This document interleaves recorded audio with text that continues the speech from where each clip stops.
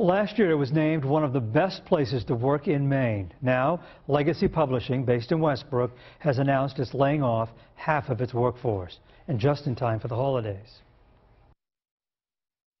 Legacy Publishing opened more than a decade ago. It set up shop inside an old schoolhouse in Westbrook. They sell The Total Transformation, a program for parents on how to manage challenging behaviors in children. When we visited in November of 2011, the business was booming, and the president of the company announced plans to expand. At the time, they said, the company had grown from 75 to 150 employees in one year, and there were plans to add another 70 jobs. That was then, this is now. Certainly underscores that while the economy is recovering, it's very, very fragile.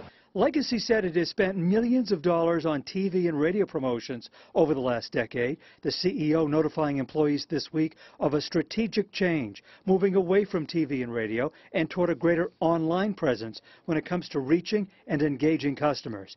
The CEO said in a statement, this strategic change has required us to make a significant reduction in our workforce of approximately 50 percent, effective November 6th.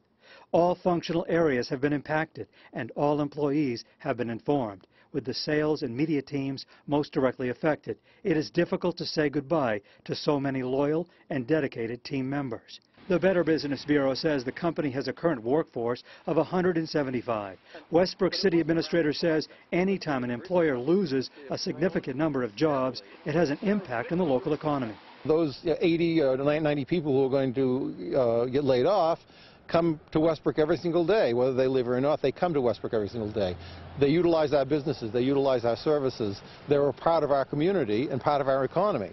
So the corner store is going to see the impact, the dry cleaners is going to see the impact, the restaurants are going to see the impact because these people are here every day. Bryant says he expects the state's rapid response team to get involved here. That's the group that helps laid off employees with unemployment benefits. I did speak with a few employees off camera today. They were, of course, upset, but they didn't really want to talk to us, saying they didn't want to jeopardize their severance packages.